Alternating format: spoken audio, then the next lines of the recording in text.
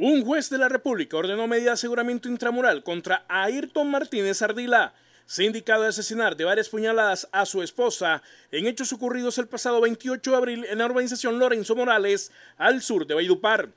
La decisión la profirió el Juzgado Tercero Penal Municipal con funciones de control de garantías ante la Fiscalía 14 Seccional, encargada de imputarle al procesado la presunta comisión del delito feminicidio agravado por el crimen de María Claudia de la Rosa Estrada de 28 años quien fue herida en dos ocasiones con un objeto cortopunzante al interior de su morada.